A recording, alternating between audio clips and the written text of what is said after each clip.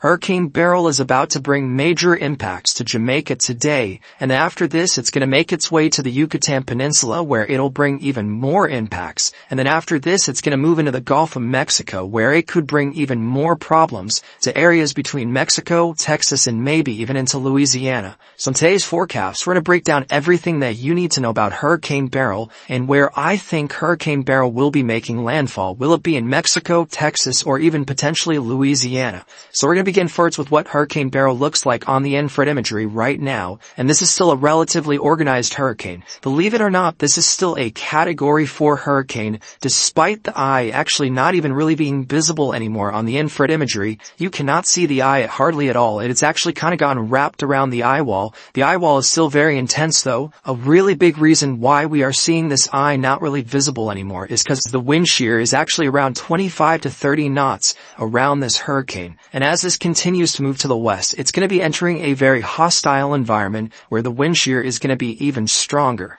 Though the energy in this area is really high, the wind shear should be able to compensate for that, and the wind shear should actually start to weaken this hurricane further as it moves towards the Yucatan Peninsula. Now after this, things are much different. We are not really going to be dealing with as much shear in the Gulf of Mexico, and this could rapidly intensify, but that still remains uncertain. But we'll be talking more about the future possibilities here in just a moment. I also want to point out there's a massive massive convective blowup on the eastern side of this hurricane overnight last night, so some big thunderstorms developing there. We probably also had a few water spouts offshore, so still a very organized hurricane for right now. It's a much closer view on infrared imagery. Again, notice you cannot really see the eye anymore. That's where the eye is. It's really getting wrapped in here. Let me just go ahead and pause this for a quick second. That is the eye right there. We have big thunderstorms that were developing on the east side of this hurricane earlier this morning. Again, wrapped around eye wall. So the eye wall still very organized, very healthy, but notice the eye is almost completely gone. It's really just buried in this eye wall, which this means that this should continually to gradually weaken over the next 24 to 48 hours,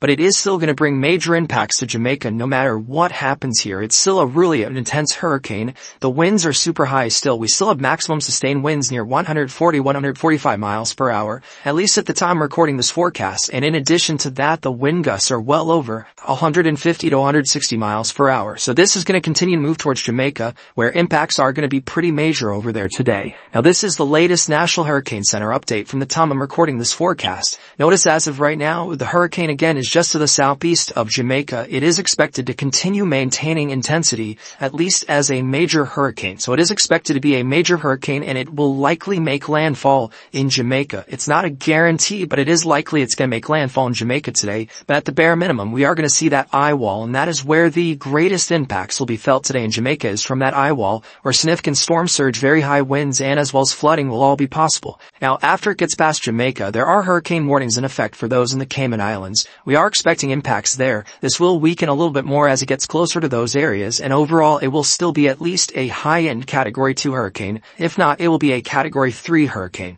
By Thursday night, this is going to be approaching the Yucatan Peninsula as a somewhat weaker hurricane. It should be either a high-end Category 1 or a low-end Category 2 hurricane by this point, and eventually as it goes past the Yucatan notice, it's only going to be a tropical storm by then, as it will be interacting with lots of land. Now beyond this, things are extremely uncertain right now. There is a potential that this goes again to the north and northeast, perhaps towards Louisiana. There's also a chance it just keeps going west and it goes into Mexico. That is basically best case scenario, by the way, because it would be over the Gulf for a very short-lived amount of time, meaning that re-strengthening or rapid intensification is really unlikely. So right now, we are going to be watching this very closely, but the cone of uncertainty is extremely large. This could make landfall in Mexico, it could make landfall as far to the north and east as like western Louisiana, for example, in a very unlikely but again possible scenario. It's not something that we can rule out at this point. National Hurricane Center forecast lines up with a ton of computer models, and this is the spaghetti models. This gives you an indication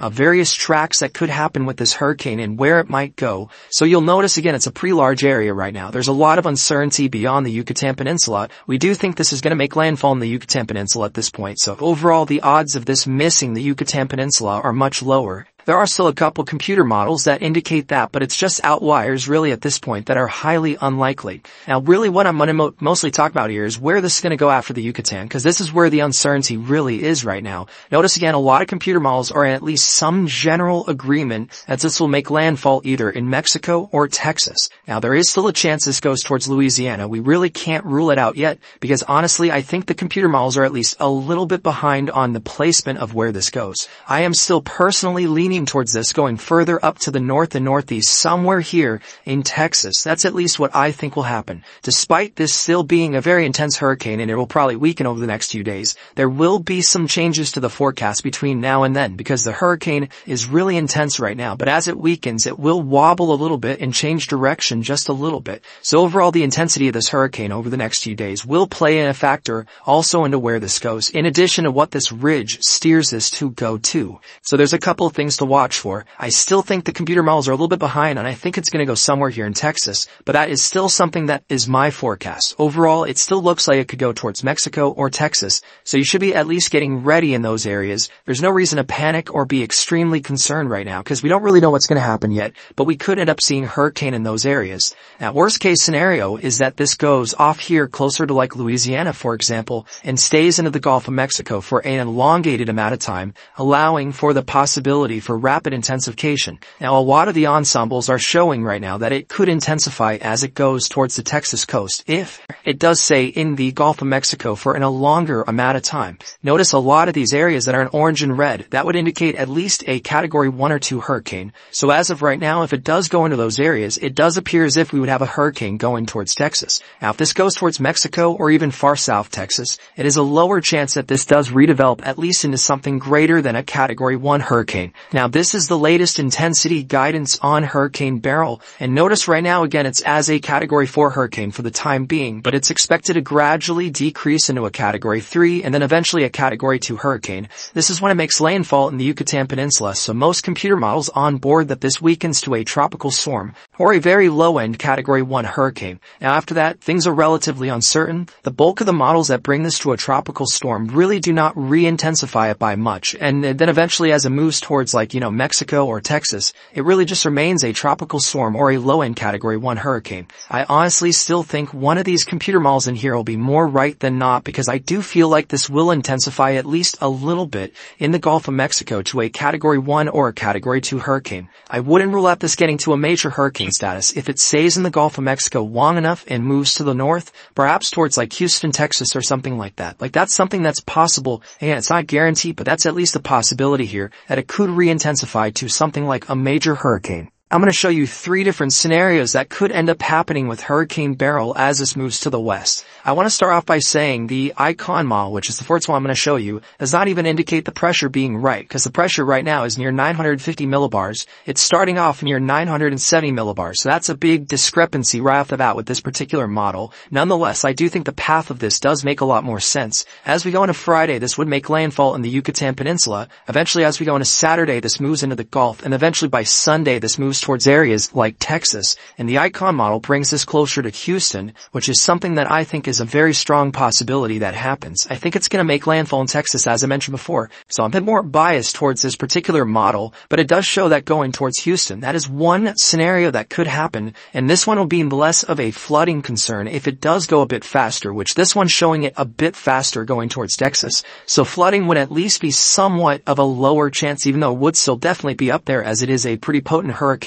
This is the European model, which also has another discrepancy. Again, notice 980 millibars. Once again, it's at 950, so this model also does not show this correct. But as it goes towards the Yucatan, it does show it as a tropical storm or hurricane as it approaches those areas. Again, it's already showing too high of a pressure for this particular system because it will probably be stronger there. Once we go on a Saturday and a Sunday, this eventually moves towards Mexico, and that's where it would eventually slow down and weaken off into Mexico, which again would be predominantly a lot of rain if that happens, which would be it leading to flooding and less of a wind threat and also less of an overall storm cons- or storm surge concern. The GFS model as it moves into the Gulf of Mexico has is going towards Texas as we on a Sunday morning and eventually a landfall sometime Sunday night between Mexico and Texas as probably some sort of category 2 hurricane or so. So there are a lot of different scenarios, all of which have obviously differing impacts. So we're going to have to continue to watch Hurricane Beryl very closely over the next several days.